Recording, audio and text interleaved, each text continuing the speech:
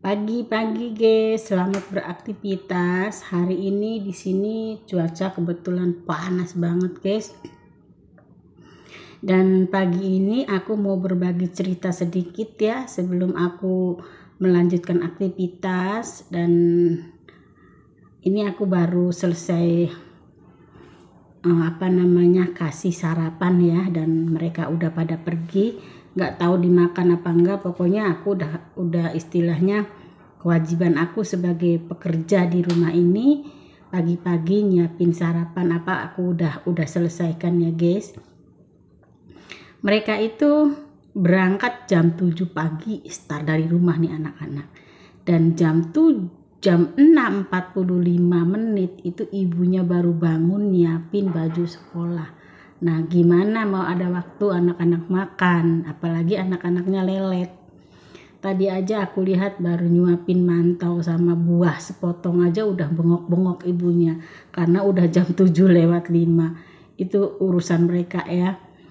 Aku udah selesaikan tugasku. Kalau misalnya perut aku lapar, aku bisa makan apa yang ada di meja. Kalau misalnya udah kenyang ya is oke okay, mau gimana lagi gitu loh di sini yang aku mau ceritakan itu tentang kengerian ya guys, kengerian nasib para TKL di Cina sini guys, di Cina atau Beijing orang bilang.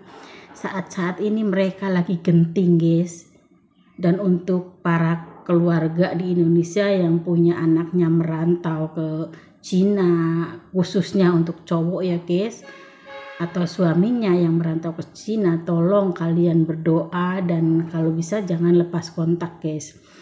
Karena ini lagi ada penggerbekan besar-besaran guys. Masalahnya ini inti masalahnya itu ada salah satu orang TKL yang didiagnosa kena corona waktu sakit itu loh guys. Sakit intinya itu itu orang tidak meninggal ya dalam perawatan aku nggak mau sebutin daerahnya pokoknya jauh banget dari daerah sini. Kan biasanya kalau lokasi pabrik itu guys kalau lokasi pabrik itu biasanya itu deket-deket pegunungan itu jauh dari keramaian kota ya. Kalau di di Cina sini tertib banget guys. Selama aku perjalanan pindah dari Hangzhou ke sini memakan waktu 45 menit itu tidak menemukan pabrik ya karena juga emang eh, daerahnya daerah perkotaan.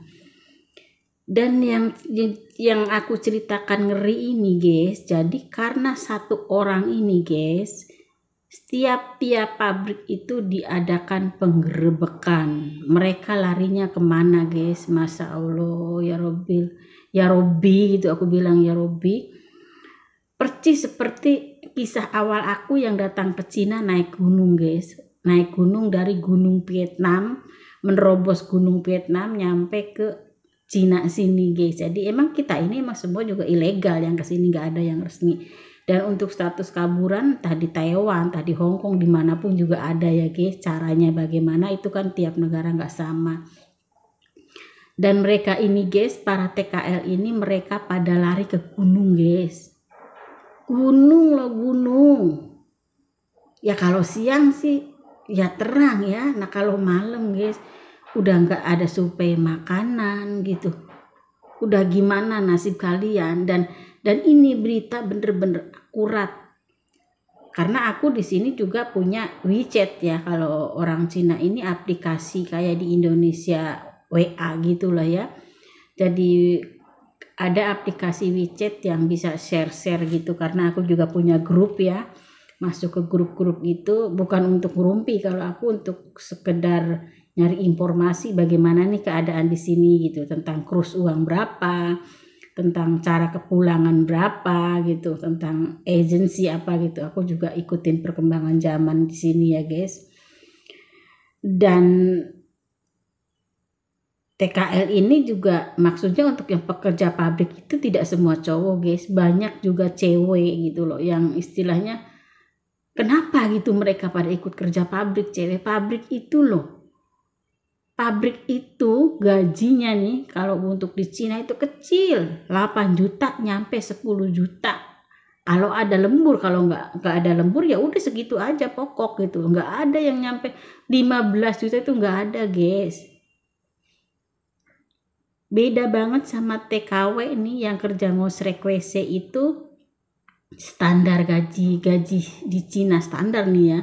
Standarnya aja 13 juta guys. Walau ada sedikit ya dari sekian banyak TKW itu yang gajinya nyampe di bawah 13 juta dengan berbagai faktor ya. Istilahnya majikan baik, kerasan ini itulah. Nah yang yang ngeri juga lagi guys. Kan mereka itu banyak yang kontrak gitu. Tidak semua pabrik itu menyediakan mes ya. Banyak yang kontrak dengan lah kalian paham ya dengan kebebasannya. Cewek-cewek begini begitu. Di kampung-kampung itu guys yang punya uh, penghuni orang Indonesia khususnya gitu loh ya. Yang di kampung-kampung itu yang biasa membuat kos-kos mereka itu diusirin semua guys dan videonya itu di share di grup. Ngeri kan aku lihatnya. Ada juga yang lari ke rumah-rumah kosong kayak kayak di kita di Indonesia gitu kan di pinggir-pinggir gunung gitu banyak rumah-rumah yang tinggalin penduduk gitu loh ya. Entah itu dengan latar belakang angker ataupun dulunya kena bencana ataupun apa pun itu mereka tuh banyak yang lari ke tempat-tempat begitu guys. Dan itu juga tidak tidak tidak menjamin aman ya guys ya Robi ini bener-bener cerita dari dari kemarin. Sebenarnya aku mau ceritain sama kalian guys. Cuman karena kerjaan aku hari minggu itu masya Allah dengkul sampai teklok guys. Jadi aku aku minta ya doanya kepada semua gitu loh ya sesama bangsa Indonesia khususnya. Semoga yang pada melarikan diri ke gunung atau ke mana gitu apa dapat jalan terbaik lah. Gimana pun kita nyerahin diri aja gitu loh ya. Kenapa dibikin sengsara gitu? Namanya di gunung guys. Aku udah merasakan nih mau masuk Cina itu naik gunung dari Vietnam. Perjalanan turis yang bener-bener turis ke Singapura, ke Malaysia, ke mana? Ujungnya aku di Vietnam itu makan tidur di hotel satu minggu naik gunung guys. Seperti kayak cerita-cerita pendakian. Cuman pendakian ala kadarnya aku jaminannya leher nyawa aku guys Alhamdulillah aja ya yang di atas gitu ya masih ngasih aku umur panjang Karenanya aku di sini mau bekerja dengan baik, dengan hati-hati guys. Dan pulangnya walaupun kita ongkos berapa gitu loh ya. Kalau untuk standar sekarang itu sekitar 22 juta ya. 22 juta untuk para TK ITKL ya. Eh TKI khususnya ya. Entah TKW-nya, entah TKL-nya yang kepulangannya dari Cina ini ilegal sekarang ini standar ada yang di grup-grup itu 22 juta plus itu termasuk tiket termasuk uh, makan ini itu dan itu kasusnya tidak dikarantina guys walaupun nanti 30 ribu ya ataupun 20 ribu gitu atau 40 juta atau berapa kita udah tanggung guys. Aku aku lebih baik ambil jalan itu. Kita nyaman gitu lah ya. Kalau dikarantina sih oke-oke aja tuh lah. Yang lain juga banyak. Cuman kan prosesnya ini guys lebih lebih aman buat kita gitu. Dan itu aja cerita pagi dari aku. Terima kasih udah mendengarkan cerita aku. Terus dukung channel Riani 15 dan untuk yang kangen dengan Sulastri aduk adik aku tolong bersabar ya guys bersabar karena adik aku sudah mempersiapkan sedang mempersiapkan segalanya Terima kasih, sehat selalu untuk kalian di mana pun kalian berada. Berhati-hatilah ya guys. Aku mau lanjutin beraktivitas ya guys. Aku juga belum siapin sarapan buat aku. Bye-bye.